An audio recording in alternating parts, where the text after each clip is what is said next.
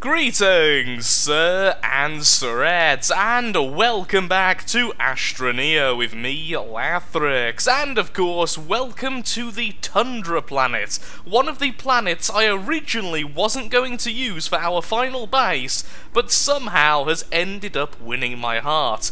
And when I say somehow, I mean because the other two planets were glitchy as hell.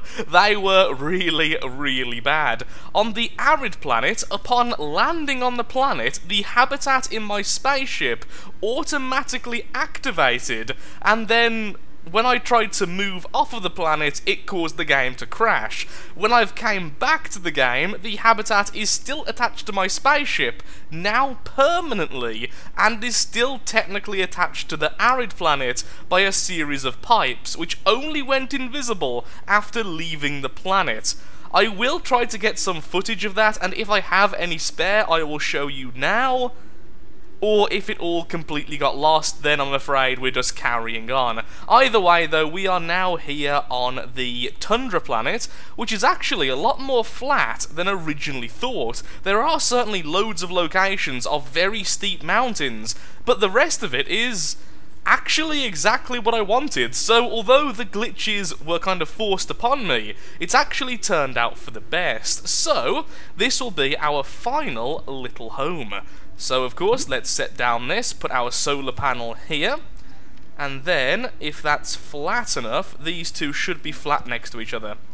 One for you, then one for you, and then I'll grab the rest of the resin from the landing bay.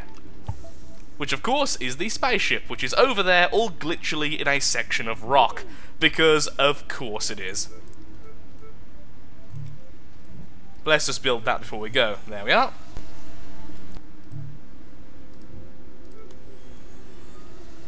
all nice and flat and pretty. There we go, we have the fuel condenser and we have the trade post, which of course means we need some power. Now, since the sun's not out, let's use what's left of the battery.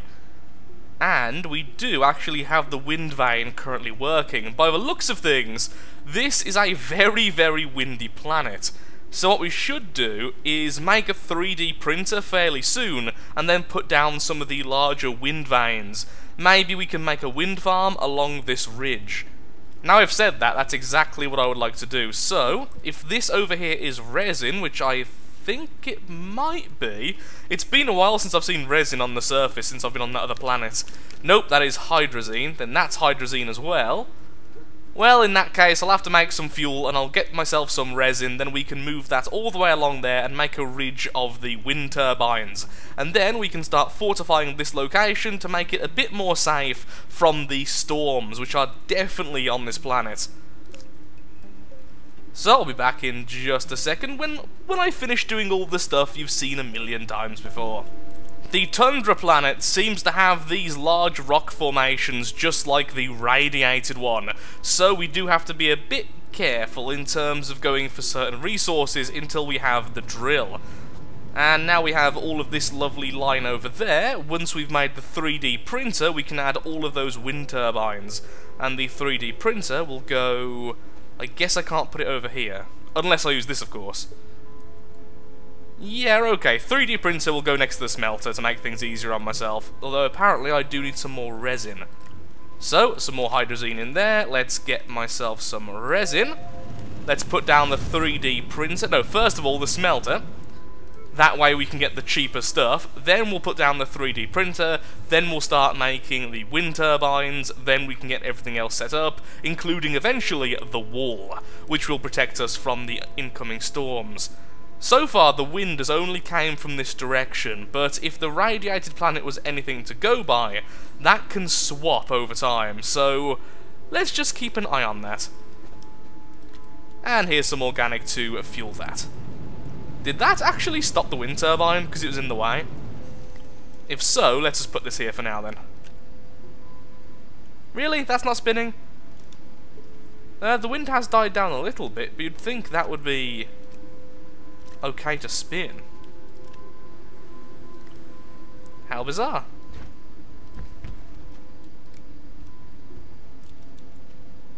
weird. The 3D printer is up, and we have made two wind turbines, which only now have stopped spinning a little bit annoying. Perhaps if I put them up on the very top over there, in which there's no blockage from any direction, maybe that would be a bit more reliable as soon as we get enough resin to move all the way up. And then all of these connection points can be converted into battery sections. Although right now I am hearing some wind, so I think there's a storm coming. And I need some more resin so that we can make a second fuel condenser, so that we can increase the speed of us making fuel.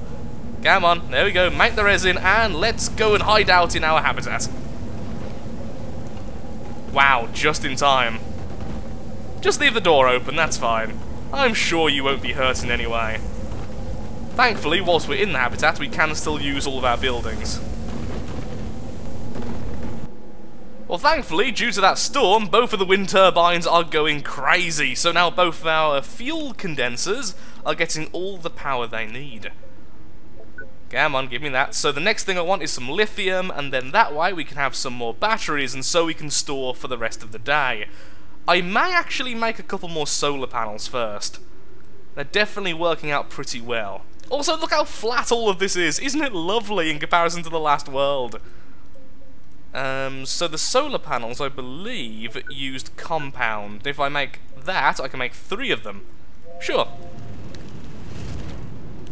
I'll be taking both for you.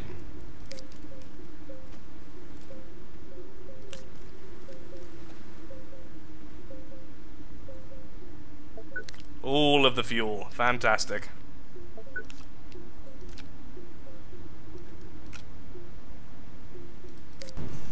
We now have two batteries, three solar panels, and two wind turbines. So right now, I think for the time being, our power shortage is completely fixed.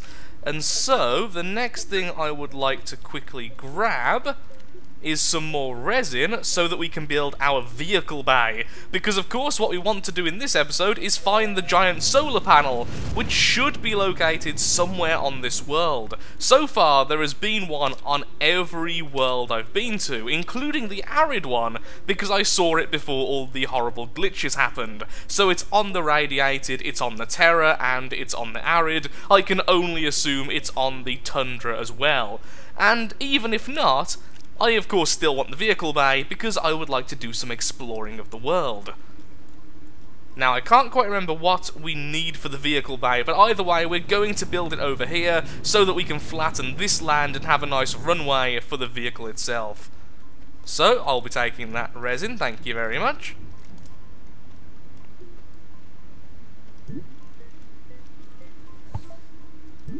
Why did that go so low for? That's very annoying. Perhaps I should have raised this land a little bit, perhaps that would have made it a bit more likely to go upwards, it certainly makes sense. And what I need is some aluminum. Do I have any spare from earlier? No, I do not. Okay, in that case, could you please trade some fuel for some of that lovely stuff?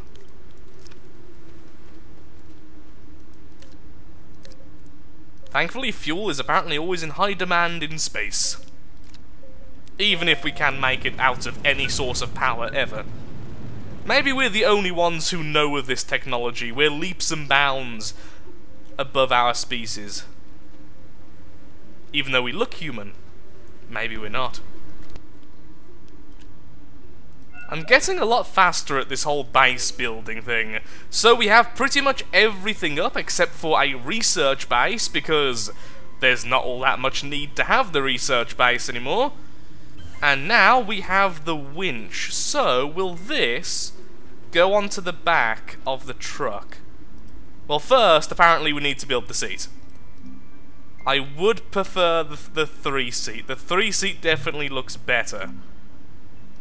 But the one seat is far cheaper. Okay, for once we'll go with the smart option. Although the one seat faces that way? I thought that was just wrong, like it's done in the past. There we go! That, that was going to be so weird if that wasn't the case. And that really goes there. So how do you use the winch exactly? Okay, then. Well, that is really, really freaking weird, but still, we now have our little thing sorted. We could add the crane and make this a kind of general purpose one for mining the rarer material, because we don't really need all that much storage now. We're not going to go out to get resource because we have all of this power, and of course our trading section, we don't really need it, so sure. Let's go ahead and build ourselves a crane. I think I'm going to need one more copper for that, which I am. And then we're going to go out and try to find the huge solar panel if there is indeed one on this planet. And don't worry, I won't record the entire journey. Instead, just when we find something interesting. So, I'll be right back once we've got our crane attached, we've got a drill attached to that, and we're off on our adventure. Here we go, I've decided to make a rover in which I've attached the winch to. So this way, we have a little bit more wiggle room when it comes to sorting all this stuff out, and it actually looks like the winch is facing in the correct direction. Because before this, we were sort of facing forwards with the winch, even though that's where we're going to move, obviously. So now our adventure begins. We just got two and a half titanium, and if we find anything else of interest, we will of course stop and explore it. But for the most part, so far, everything is looking very, very similar. Oh, hello. That isn't the panel straight away, is it? Because that would be far too lucky. It might be. Is that the solar... No, that's not the solar panel, is it? Hmm. Is there an attachment point? There is. I think this actually might be the solar panel. Let's find out. Let's move our solar panel off. And let's see if we can attach the rover to it. And see if it'll give us energy. Okay, we can attach. Yep, that does give us energy, so that is the solar panel. Well, that wasn't much of a journey at all, was it? We will explore more of the planet before we go, since I'm planning this to be the final episode before any major updates hit the game. Oh, is there a storm coming? I can hear the wind effects. So how does this work then? So clearly the first thing we need to do is dig this out of the dirt, because right now it's completely wedged in there, and it's way bigger than I thought it was going to be. And let's actually attach the solar panel back, shall we? So we can feed off that as we do this. Thank you. Okay, it's no longer wedged. So, do we just do this? Does it go to an attachment? Aha! Yep, we definitely grabbed it. Oh, this does not look like it's going to work out well. Come on, Solar. Come with me. Yes! we have it! This in no way is glitchy. In no way is this going to cause any problems on the way home.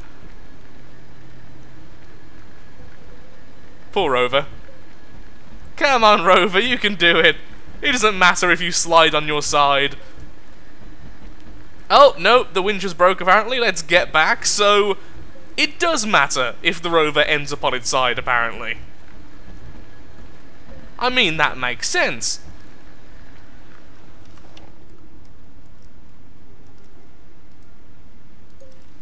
Got ya. Yeah, come in with me. You're going to be like the ultimate source of power.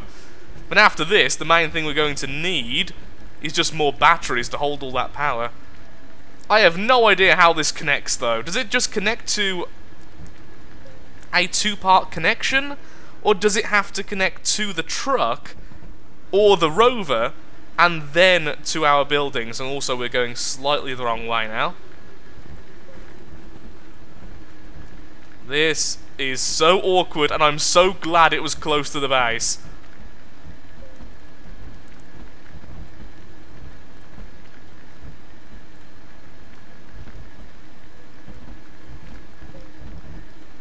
Okay. There we go.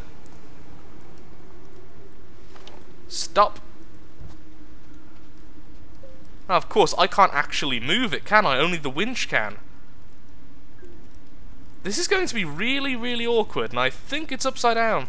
On top of that, I'm guessing it might work that way round? Let's detach all of the power sources for now, just so we can test if it's actually going to work. All of these go bye-bye, including the batteries, just for now.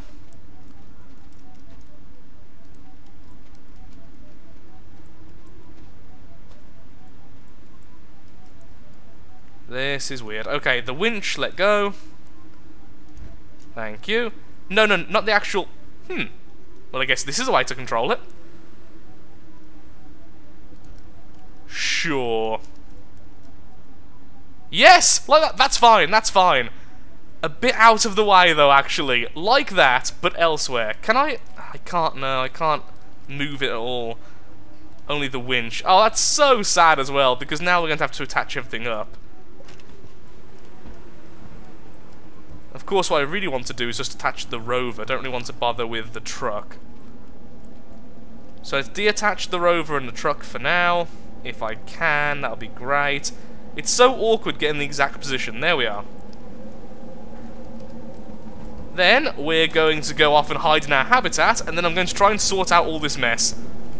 This thing, this abomination, is the hardest thing to work with in the entire game. If you touch this in the wrong place, if you build too close to it, or if you do anything which apparently is incorrect, it will go flying off into the sunset, or it will glitch into the ground, or just all sorts of bad things. In addition to this, no, of course you can't just connect it to the main power line, because that would be far too easy for something as majestic and amazing as the giant solar panel. Either way though, the solar panel is now connected, the rover is a permanent addition to this fake crash site I've made, and I'm going to start building a small underground battery section, because I think that will be cool. So there we are, our new mega power supply. We have the big solar panel now attached to everything else. So yay for that. Let's put our batteries back, let's put back everything else I removed just to make sure it was giving us power, and for the brief, brief time it was day, it did give us a lot of power. It powered both of these at least three times in a row, even just on its own essentially, so it's definitely more powerful than just a regular solar panel, which you would expect considering it's like maybe 10, 15 times the size of the darn thing, if not more. Also, the winch is just as bad. This thing glitches out everything. Wow, that was like 30 minutes of my life just to prop it upwards towards the sun and put everything together. I'm actually a little bit fed up now, so let's get back to building our base, our final home, and pretty much the last thing we'll do until there's some major updates to the game, because right now there's nothing left for me to do. We've unlocked all the research, we've explored every single planet type at least a little bit, well, I have off camera. I also looked at the moon, it was very boring, it was the moon, you could jump really far, it was kind of cool. And yeah, so what we need to do is build some walling then. So let's build the first wall between there and there. So we are protected at least from this side. No, wrong way. There we are. And actually, if we can make some tethers first, that would be fantastic. So let's go ahead and grab some compound. Compound, please. That way we can always be attached whilst we're building, which would make life a lot easier on myself.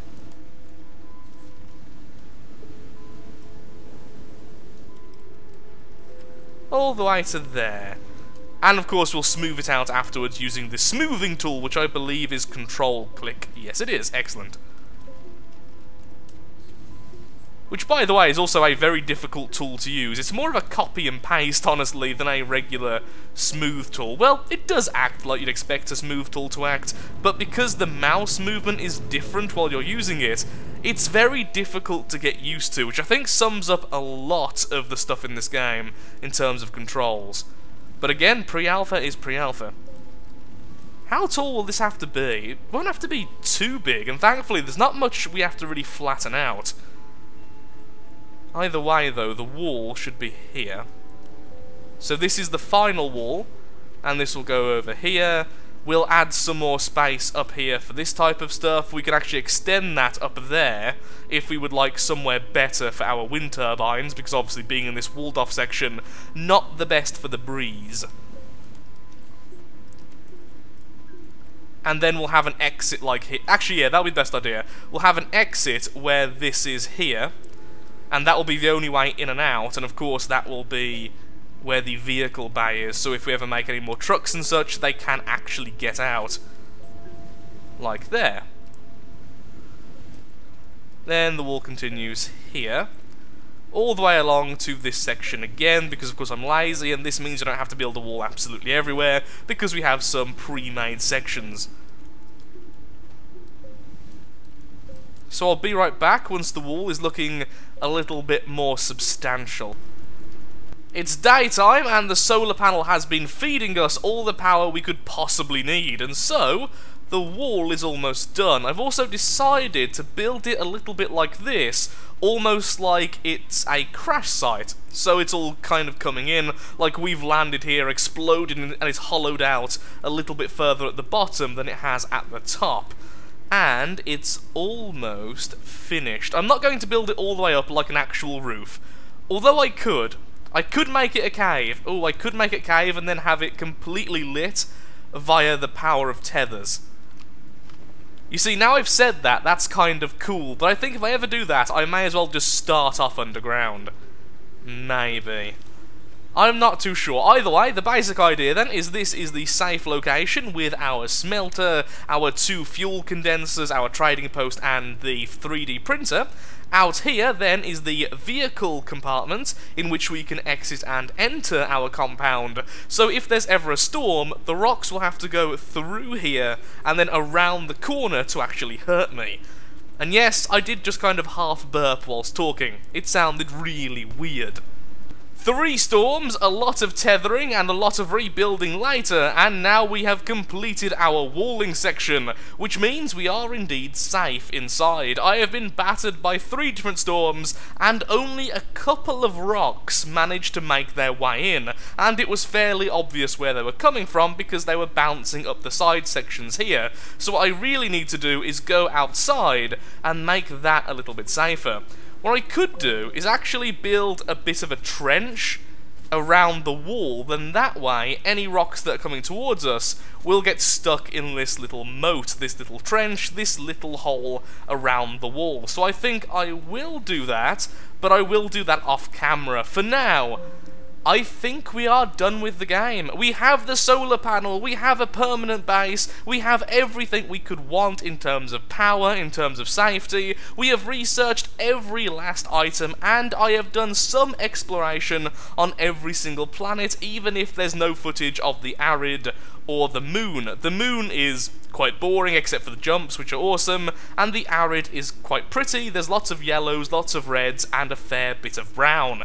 There's also a little bit of grey. There's also giant spiky balls which try to kill you. So perhaps the next time we go on an adventure we will go over to the arid planet just to say hello. So, this will be the first episode. I quit and actually look up stuff about the game. I've also been very selective in what comments I've been allowed to see by a friend of mine who's been reading all the comments first, and then any which is deemed not completely spoilerific was then given to me. So I have been reading like 95% of comments, but a few comments didn't get through. After this episode, I'll be reading every single comment, I'll be looking up all the stuff about the game, and if there's anything I have neglected to do, anything in which I really want to do, there will be one more episode. But if that's not the case, which I feel may be, this is the last episode until there's a major content update, in which, of course, I will be making a video as soon as possible. I am looking forward to seeing where this game goes in the future. But for now, it's kind of sad to say, but we are done.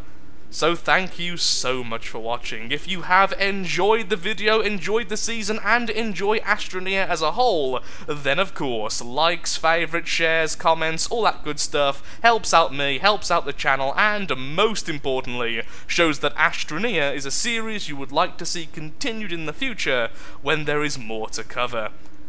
Thank you so much for watching. and goodbye.